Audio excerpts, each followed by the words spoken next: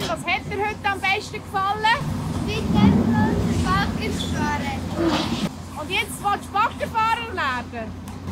Ja.